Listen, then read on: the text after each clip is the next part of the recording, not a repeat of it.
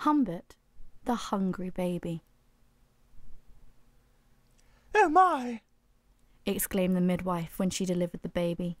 It was the biggest tot the lady had ever seen in her many years of delivering them. He plopped onto the floor of the hospital like a beached whale. Oh, oh my word! cried the father. How had this skinny bean of a man helped create such a ginormous baby? Is he beautiful? asked the baby's anxious mother. She couldn't see her newborn child from where she was lying on the bed. Well, you know what they say. Big is beautiful. replied the father. Yes? He definitely is big. How big exactly? When the pair had managed to heave the enormous lump off his mother, father asked, Darling, whatever shall we call him? Humbert. She said, Little Humbert. Little Humbert? asked father, a hint of sarcasm in his voice. The new parents had brought a pretty pram to the hospital in which to take their baby home. However, as soon as Humbert was lowered into it, the pram was flattened. Crunch. The pair hijacked a forklift truck so they could get their offspring home. They just managed to squeeze him through the front door. On seeing the size of him, Marmalade, the family cat, dashed through the cat flap. Somehow, the parents hauled him up the stairs. As soon as they lowered him into his cot, he burst out of it. Shards of wood exploded across his nursery, smashing everything in sight. The room looked as if a bomb had hit it, Where's he going to sleep now? asked father. In our bed, of course. replied mother. So their bedroom became Humbert's nursery, and the baby sprawled out on their double bed. Mother slept on the sofa downstairs, and father had to sleep standing up in the cupboard. Not that the pair got any sleep. If they stopped feeding their new baby milk for more than a minute, Humbert would scream the house down. Such was the noise that the walls would shake, the roof would rattle, and the windows would. One bottle of milk was never enough. As soon as Humbert had his lips around the first bottle, the second would have to be filled, then the next, and the next, and the next. The baby would only stop to do one thing burp. Guzzling all that milk down, Humbert began expanding at an alarming rate. When there was no milk left in the house, Humbert would wail for food again. If he wasn't immediately bought something to eat, he would roll out of bed. And he would lollop down the stairs like a giant slug trying to break dance. One night he demolished the entire contents of the fridge in seconds. A whole trifle, a huge block of cheese, a foot long salami sausage, egg after egg after egg, and a pack of butter, including the wrapping in which it came. In the morning, Humbert had his innocent face on. However, his burp gave him away. It was a cheesy, eggy, buttery, meaty, trifly burp that flew straight into his parents' face like a hurricane. Upon seeing the carnage in the kitchen, father was furious. I don't believe it. There's not a thing left in here to eat. Well, little Humbert's a growing boy. replied mother. Growing? If he carries on like this, he'll be the size of an elephant by Christmas. snapped father.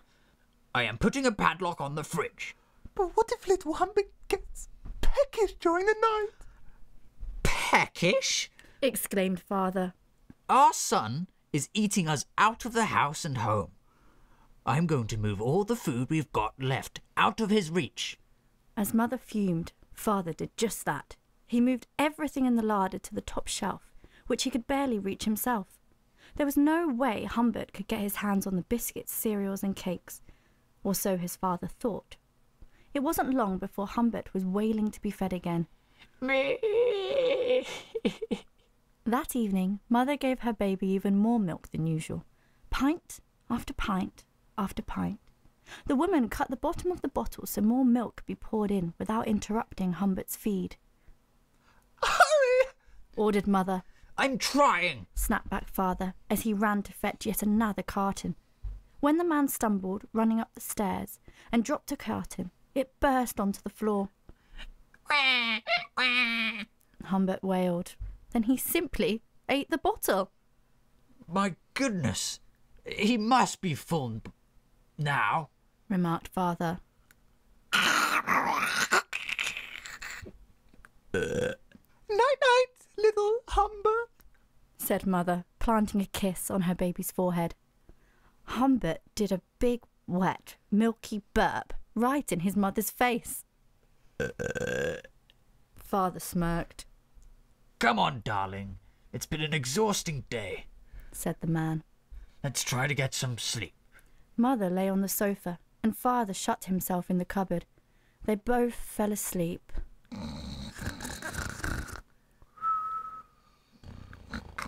Moments later, Humbert wailed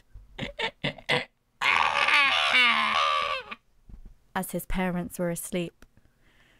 No one came running, so the big baby rolled himself out of the bed. He poured down the stairs and slithered into the kitchen. As the food had all been placed out of reach, the baby had to find a way to grab it. First, he tried bouncing. Humbert was perfectly round, but he was just too heavy to become airborne. Next, he reached for a cooking pot to stand on, but he still couldn't reach any food. So the baby poured over a thick cookbook and placed that on top of the pot. Still, he could not reach the food, so he dragged poor Marmalade over by her tail. Screeched the cat. Humbert placed the cat on top of the pile. He stepped on her with his big fleshy foot. Humbert's eyes widened as he finally saw what he had been looking for food, glorious food. The big baby was still standing on top of the cat. As his feet pressed down on the poor creature, she let out a series of loud yelps. It was as if he was playing the bagpipes.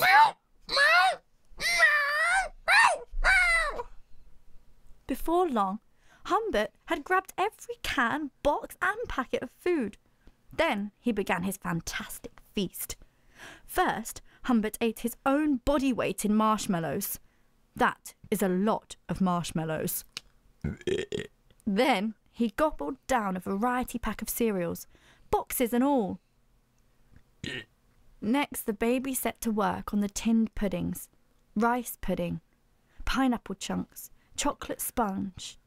Being a baby, Humbert didn't know how to use a tin opener, so he ate the tins too. Next, the baby found a large jar of mustard. It smelled funny. Humbert poked his fingers in and grabbed a mouthful. Like most children, Humbert didn't like the taste of mustard at all. He spat it out of his mouth and hurled the jar across the kitchen. A streak of mustard was splashed to the floor. Humbert desperately needed to eat something to take the taste away. The big baby jumped down and looked around the kitchen. There was not a scrap of food left to eat. He had scoffed the lot. The larder was empty. The fridge was empty. Humbert licked the wall to take the hot mustard off his tongue, but it still tasted off. Poor Marmalade hadn't liked being trodden on one bit and was now curled up in her basket. Humbert looked at Marmalade. Marmalade looked back at Humbert. Could he?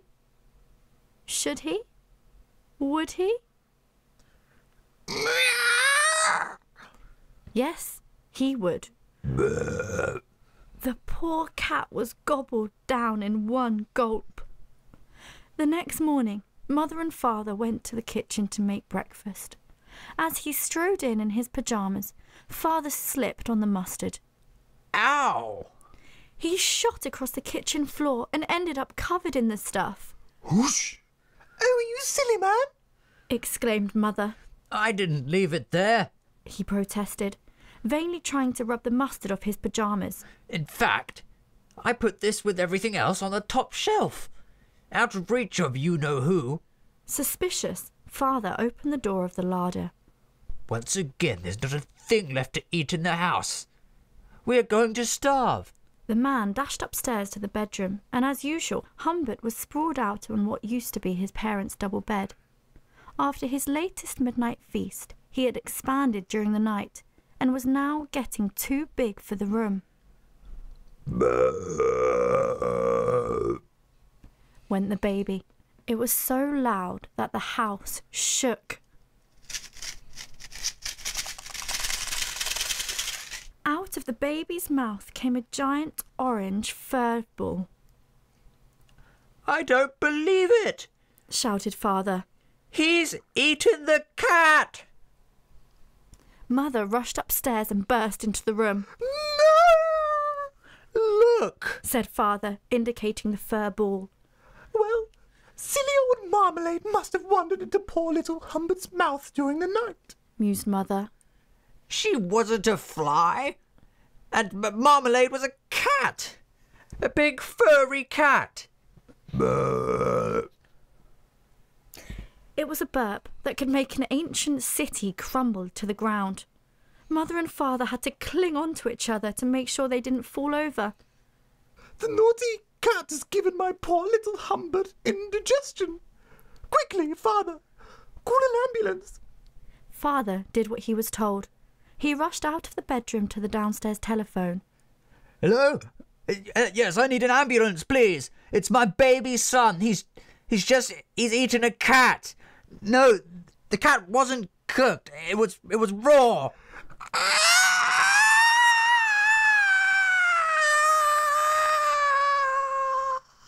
Came a cry from upstairs. This was followed by a thunderous.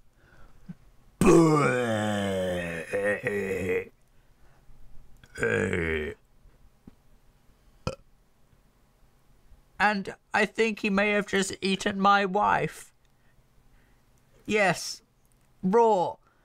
Please come as fast as you can. Father slammed the telephone down and dashed up the stairs. Opening the bedroom door, he saw that his wife's feet were just poking out of his baby son's mouth. Humbert munched on his mother's pink, fluffy slippers. Right in front of father's eyes. Humbert was getting bigger and bigger and bigger. It was as if the baby was a lilo being inflated. The bed collapsed under his weight. Unsteadily, Humbert rose to his feet.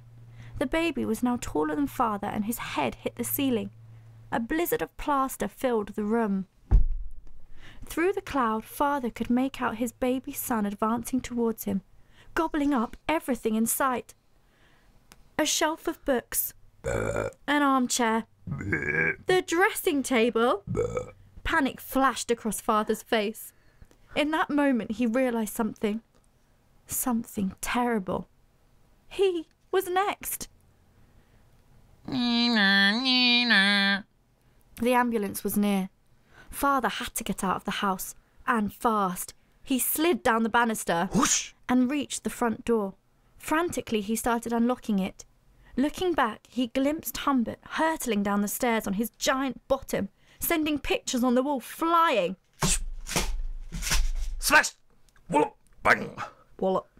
If Humbert didn't eat his father, he was sure to flatten him. Still in his mustard soaked pyjamas, the man dashed out of the front door, slamming it behind him. That didn't stop Humbert. Oh no. The baby smashed through the front wall of the house. Sending bricks tumbling through the air, they fell to the ground all around father.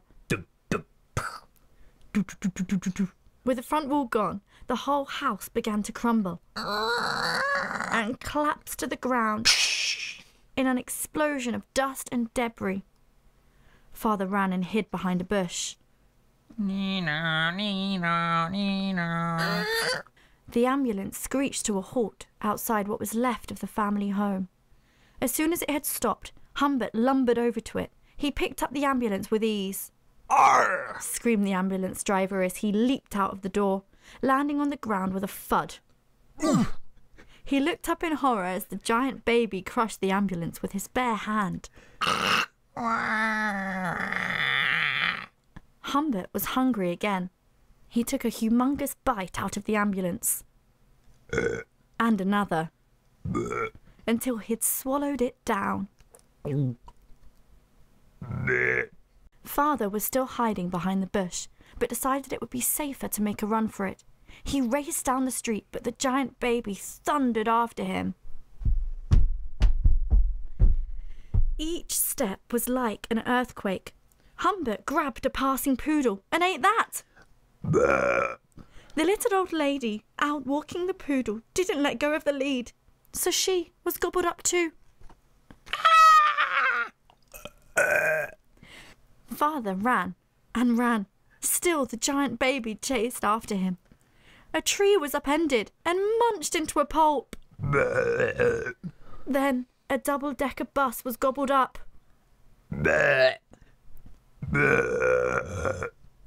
Next, a squad of police cars raced down the road. They stopped in formation to create a roadblock.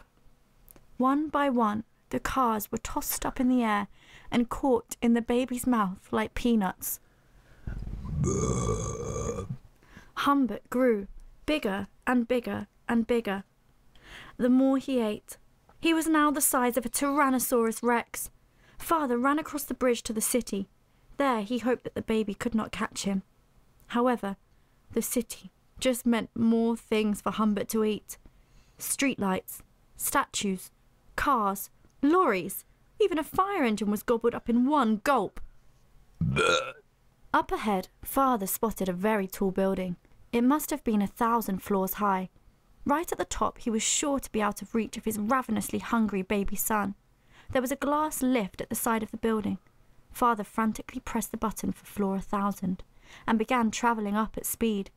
In the safety of the lift, the man breathed a sign of relief. Ping! The lift jolted as it reached the very top of the building. The door slid open and father rushed out onto the roof. When he looked down, he saw that the giant baby was scaling the building. No! screamed father. The man turned around. A police helicopter was buzzing overhead. The pilot leaned out with a loud hailer. Giant baby fin, please make your way down to street level and stop eating everything. Humbert reached out to grab the helicopter. He swatted it like a fly. As it began falling to the ground, the giant baby grabbed the helicopter and ate it. In no time, Humbert had climbed to the top of the building. Father was trapped. The baby's ginormous hand reached onto the roof and scooped up the man. Don't eat me! He pleaded. I'm your father! But the baby just smiled, baring his gums. Yeah! Screamed the man as he disappeared into the baby's mouth. But the baby spat him out. Yeah! The mustard! exclaimed father, scrambling to his feet on the roof of the building. Slipping over on the spicy sauce had saved his life. Just then, three fighter jets whizzed past, Don't shoot! shouted father. All we need to do is coat every man, woman, and child in the world with mustard, and then we can all be fine. The baby reached out and grabbed one of the fighter jets. He munched it down. And another. The pilot of the third jet started to fly off at speed. Humbert reached to grab it. As he did, he lost his balance. No! Screamed father as the big baby tumbled to the ground.